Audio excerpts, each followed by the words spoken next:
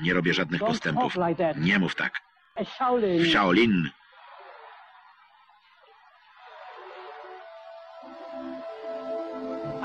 nigdy nie uczyłem się w. Shaolin.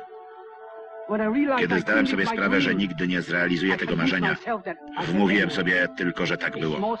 A stąd już tylko krok do przekonania o tym innych. Więc te wszystkie opowieści wymyśliłem je.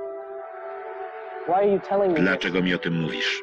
I have given you all Dałem ci tyle, ile potrafiłem, ale to nie wystarczy.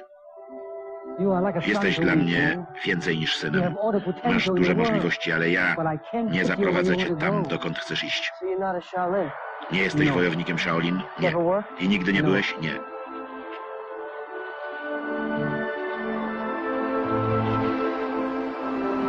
What?